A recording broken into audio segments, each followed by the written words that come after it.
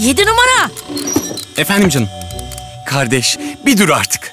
Bak 24 saat dönüp dönüp duruyorsun. Dönüp dönüp duruyorsun. Başımız dönüyor ama başımız.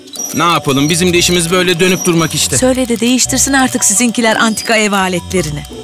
Nerede? Kaç kere attırdım sigortalarını. Anlasınlar dedim. Bu zamanda artık enerji tasarruflu ürünler kullanmak gerek. Görüyoruz ki sizinkilerde değişen hiçbir şey yok. Hala eski modeller, hala enerji tasarrufu sağlamıyorlar. İyisini sen yine attır bu sigortaları. Böyle gitmez bu iş.